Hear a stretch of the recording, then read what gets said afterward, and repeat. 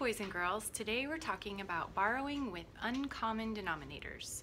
We know how to borrow from our whole numbers when we have fractions, and we know how to borrow when we have a whole number of one or when we have a different whole number, but we've never borrowed when we have uncommon denominators.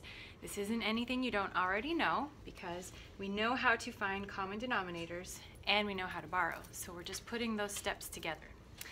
To help you out with this, I'm going to use a couple of different colors to show you each step so that you can simplify it in your minds. The first step we need to do, which I have listed here, is before borrowing, the minuend and the subtrahend fractions need to have common denominators, minuend and subtrahend. So what I'm going to do is write an equal sign right here, and we're going to create um, common denominators so we have a subtraction problem that we can work with. And I can already tell that my least common denominator between 4 and 2 is going to be 4 because 4 can go into 4, this fraction will stay the same, and 2 can go into 4 two times, so since 2 times 2 is 4, 1 times 2 is 2. Now I have a fraction that I can subtract, however, I have a 1 here and a 2 here. So I have to do some borrowing. So our next step is, and actually I should have written that whole number over here too. So I'm going to write my 5 and my 3, carry those whole numbers over so that we can easily see it there. Um, and now I can go ahead and borrow. So you remember, when you borrow from your whole number, you cross this out, you're taking one unit away, and then since we're working with fourths, that'll give us 4 and 4 fourths. So now I'm going to write my equal sign here.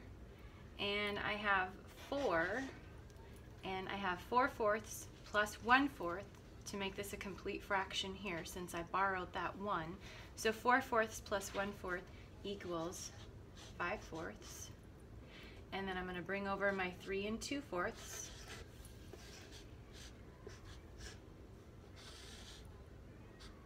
And I can now go ahead and subtract. I have 5 fourths minus 2 fourths, and that equals 3 fourths.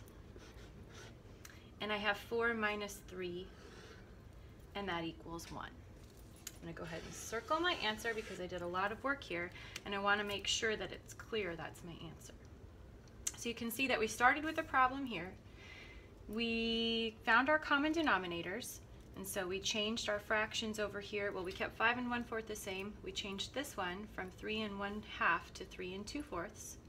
So this was the step where we found common denominators. And then we did our borrowing. So we subtracted from that whole number, took one away, and represented that whole number as a fraction. Added the fraction to the one that was already here, so we got 4 and 5 fourths and carried 3 and 2 fourths over because that doesn't change and then we were able to subtract. I'm going to show you another problem that's similar and I did the same thing, used different colors for each step. So in this problem I have 4 and 1 sixth minus 2 and 2 thirds.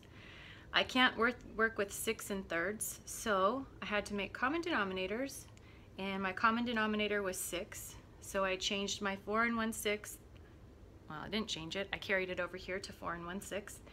And 2 and 2 thirds, I converted that into 2 and 4 sixths because 3 times 2 is 6 and 2 times 2 is 4. So then I had 4 and 1 sixth and 2 and 4 sixths. I couldn't subtract this 4 from the 1, so I had to borrow. I crossed out my 4, turned it into a 3, and I represented that one unit that I borrowed as 6 sixths because we're working with 6 here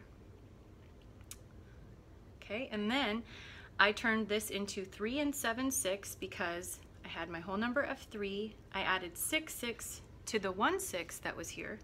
That equaled 7 6. So now I have 3 and 7 6 minus 2 and 4 6.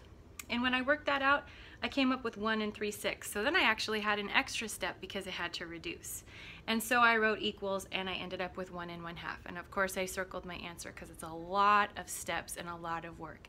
It would get very confusing to know what your answer is if you don't circle it in a problem like this. Okay, now for your practice. I want you to do 3 and 1 fourth minus 1 and 3 eighths and 6 and 1 third minus 3 and 5 sixths.